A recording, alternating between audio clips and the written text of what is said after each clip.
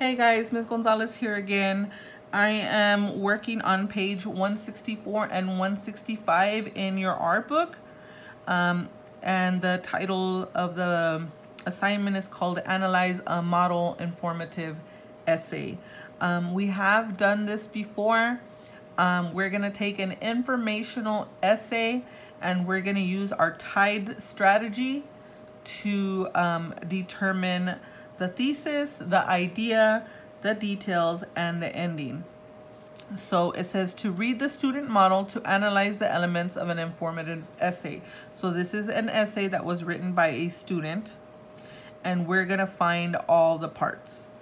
It says choose two characters from either the lottery or the Hunger Games or one character from each and write an essay analyzing the characters' attitudes about their their community's annual traditions.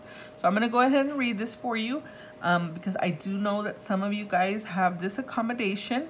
Um, if you do not need to be read to, you can go ahead and skip along and then join us for the rest of the video. Um, it says Blind Obedience to the Power of Fear by Judith Bauer Stamper.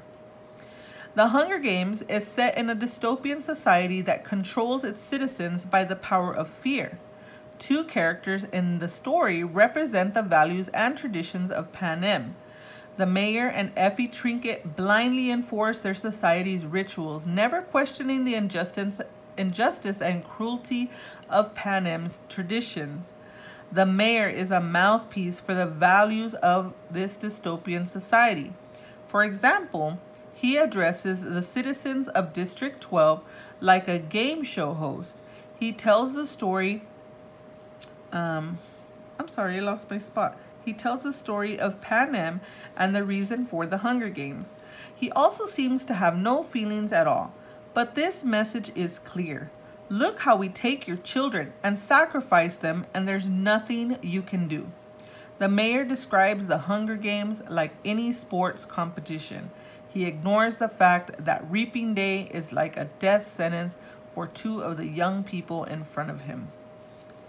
Effie Trinket also represents the values of Panem's and Panem and its rituals. Her last name, Trinket, describes her perfectly. She is like a flashy ornament of little value. For instance, when she trots up to the podium, her first words are Happy Hunger Games. She is fake through and through. Effie ignores the terrified families in front of her and rattles on about the drawing. Effie never drops her falsely cheery attitude. She can't allow herself to feel human emotions because that's what she is doing to that what she is doing is too terrible to admit. In conclusion, the characters uh, of the mayor and Effie Trinket are important to the story because they symbolize the injustice and cruelty of their society. They have given up their humanity and are blindly obedient to the power of fear. So again, um, the writing prompt asks you to pick two characters and to write an essay analyzing their attitude towards the traditions. Now you can choose to write about the Hunger Games or you can choose to write about the lottery. Um, or you could choose to have one character from each. Um, so we're going to move on, but we're going to flip back here in a few minutes. Um, it wants us to mark the following elements of an informative essay and use the frames to discuss them with your partner. Okay, so it's um, in the green, they're briefly giving you a definition of what is expected. It says the thesis statement identifies the topic of the essay. It previews what the writer will discuss. It addresses the prompt. So again, in layman terms, the thesis is basically what your passage is going to be about. So we're going to put a T next to the thesis statement. And is this thesis statement effective? So the thesis is usually found in the first paragraph and it's usually the very last sentence of the passage. Well, we've already read the passage, so we know what it is about. We know what our writing prompt is, and we're going to look at that and we're going to see is this the is this thesis correct? so if I look at the last sentence, it says the mayor and Effie Trinket blindly enforce their society's rituals, never questioning the injustice and cruelty of Panem's traditions. So I would say this is the thesis because that is what, what Judith chose to write about. So I'm going to label that with a T. Okay. And then I'm going to come back here and I have a question that says this thesis statement is effective because it what? Identifies, describes, or introduces. And I'm going to say introduces two characters. It introduces the mayor and Effie and how they go along with the traditions. Okay. Um, the thesis statement is effective because it introduces two characters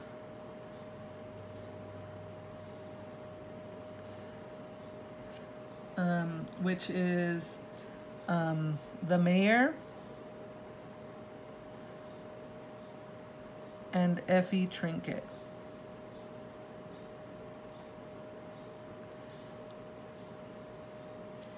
And who go along with society, who go along with um, I guess with the traditions of Pan Panem. Ran out of space. Okay. Um, and so the next part um, is I, which is the idea. And each supporting paragraph contains a topic sentence that states the paragraph's central idea. So central idea is a lot like the key idea um, or the main idea, but it central idea, when they say central idea, it is specific to informative um, text. So because um, this was is an informative essay, they chose the word central idea. Um, so for that one, the central idea um, or topic is usually found in the first sentence of each paragraph because it has to kind of introduce what they're going to talk about and then give you the details that talk about it. So if I look here, go back to my passage, I'm going to label the ideas. Um, the mayor is a mouthpiece for the values of this dystopian society. Uh, for example, he addresses the citizens of District 12 like a game show host. I think um, that is because the I, I'm sorry, that is the idea because it's gonna go on to give you details about why they feel um, that he is a mouthpiece for the values. So I'm gonna label that with an I here. And then the next paragraph talks about Effie Effie Trinket also represents the values of Panem's and its rituals. Her last name, Trinket, describes her perfectly. So this is also the idea here. And so we're going to flip back to our um, page 165, sorry. And now we're going to say why we chose this. So it says, put an I next to the central idea of each paragraph. What information do these central ideas provide to support the thesis.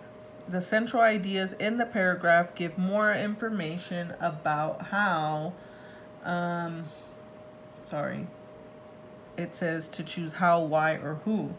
Um, I'm going to choose um, how basically both of them are um, representing the values of Pan Panem.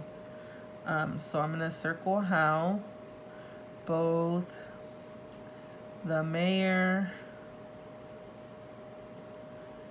and Effie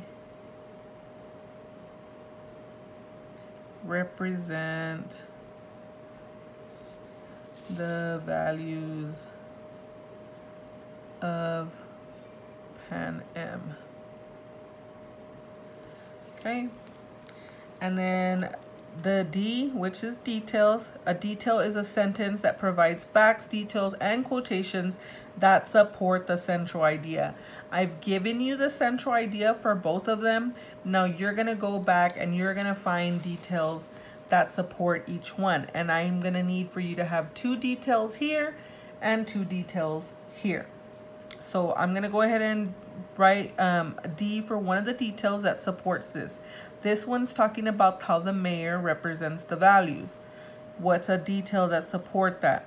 I would say he also seems to have no feelings at all, but this message is clear. Look how we take your children and sacrifice them. So that's a detail. You're going to find one more detail here, and you're going to find two more details here. Okay. And I'm going to leave you to write why those detailed sentences are important. The detailed sentences are important because they, and then tell me why they are important.